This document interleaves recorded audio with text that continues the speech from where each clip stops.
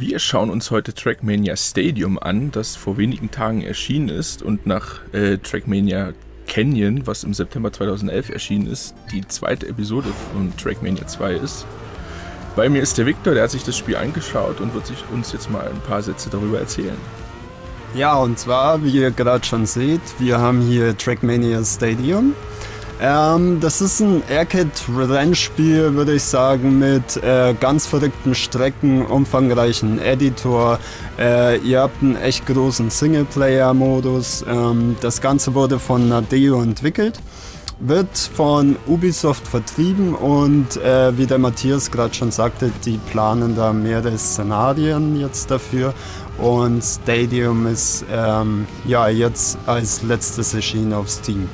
Genau, das ist die zweite Episode von Trackmania 2, nachdem im letzten Jahr eigentlich Trackmania äh, Valley erscheinen sollte, was aber aus verschiedenen Gründen verschoben werden musste.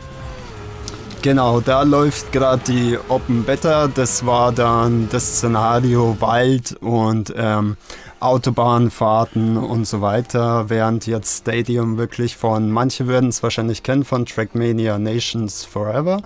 Ich wollte ähm, gerade sagen, das erinnert sehr stark an Trackmania Nations, das, der Teil, der damals kostenlos erschienen ist. Genau, den habe ich damals auch ganz gerne gezockt. Und ähm, wie ihr auch gerade sehen könnt, ähm, ihr habt wirklich einen sehr großen Singleplayer mit insgesamt 65 Strecken. Da gibt es verschiedene Schwierigkeitsgrade, also wirklich die abgefahrensten Sachen von äh, ganz normalen Strecken über Loopings, Sprünge und alles Mögliche.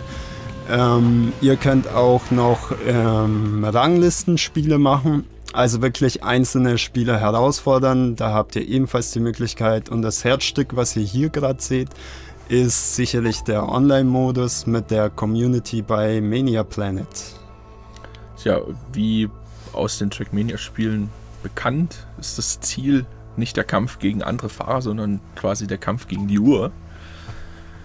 Genau, also ähm, das Spielprinzip ist ziemlich einfach. Ihr habt zwar im Online-Modus insgesamt acht Modi von Turnieren über einzelnen Rennen, aber ähm, das, was so spaßig ist an dem Spiel, ist eigentlich wirklich hauptsächlich diese Bestzeit-Rekordjagd wo man äh, immer wieder versucht, eigentlich äh, das Beste von der Strecke zu holen, irgendwie. Und man sich immer wieder denkt, okay, wenn das andere irgendwie schaffen, dann will ich das jetzt auch nochmal toppen und ähm, ja, gib mein Bestes, damit ich einfach in der Weltrangliste dann so weit wie möglich oben stehe. Ja, mit Mania Planet und auch schon den Vorgängern Trackmania Nations und United stand schon immer die Community im Fokus der ganzen Spiele auch wenn man jetzt nicht direkt gegen andere Fahrer antritt, so ist man doch quasi mit der Uhr im Wettstreit.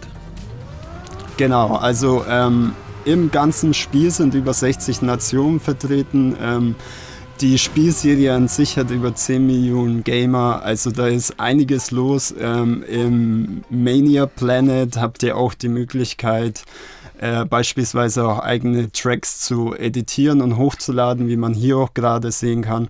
Da habt ihr wirklich die verschiedensten Möglichkeiten.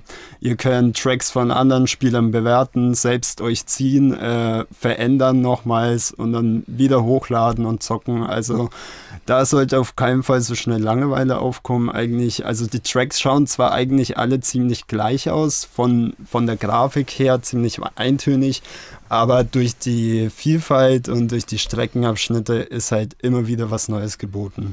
Das ist auch meiner Meinung nach eine der größten Stärken dieses Spiels, weil die 65 von Nadeo vorgegebenen Strecken hat man irgendwann, kann man die im Schlaf fahren, aber die unzähligen Community erstellten Strecken äh, fordern einen immer wieder neu heraus.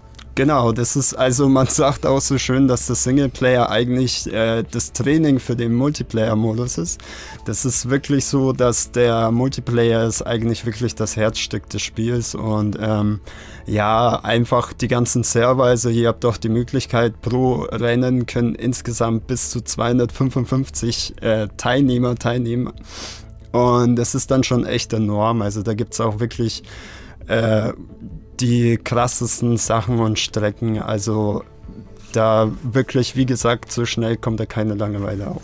Also Trackmania Stadium jetzt auf Steam für 9,99 Euro. Schaut es euch einfach mal an.